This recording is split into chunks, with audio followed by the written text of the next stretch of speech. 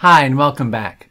This challenge is creating your first animation and it's a two-part challenge. I'm going to show you the final product here where you make the cat look like it's walking across the screen like this. Looking sharp, Scratch Cat.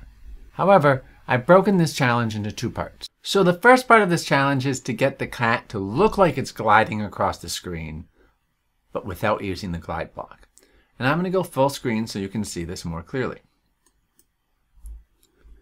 So if I do this, it looks very similar to the first challenge you did. However, if I move the cat up to the top and run it again, it goes across, straight across the screen.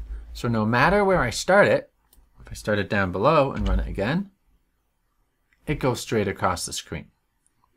That wouldn't work with a glide block.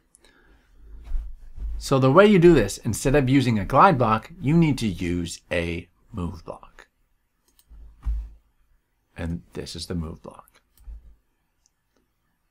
All right, if you think you can do this by yourself, jump into Scratch, go ahead. If not, stay tuned for some hints, or come back if you're struggling to look at some hints. All right, I'm going to create a new project as always, and we're going to talk about why you'd use a move block versus the glide block. So here's the thing with the glide block. The glide block is great for going to a specific location.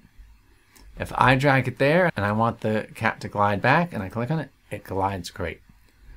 But if I want to do anything while it's gliding, I can't easily.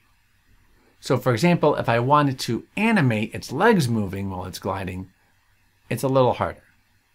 So often we use the move block. The other thing is the move block makes it move in a certain direction and it doesn't matter where it starts. And how does the move block know which way to go? Well, it's based on the direction it's pointing. So if I click on direction, right now it's 90, which is to the right. So it's going to move to the right. So if I click on the move block, it moves 10 steps. Click on again, it'll move 10 steps again. And basically make it glide, you do it over and over again, like a flip book. But me clicking it over and over again is pretty slow.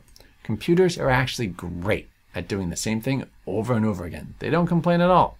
So if you go to control, there's a couple blocks to do this. We could do a repeat 10 times. And then move it a little bit. I could change the number and say 50.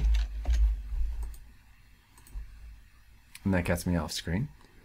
No matter where I drag it, it goes straight across. I could also do a forever block. And then it will just go until it hits off the screen. So this hint basically gave you the answer, but I want you to understand the difference between the glide and move block. Because when you're making games and making characters move, you're often going to use a move block and not the glide block. All right. Good luck and keep on scratching.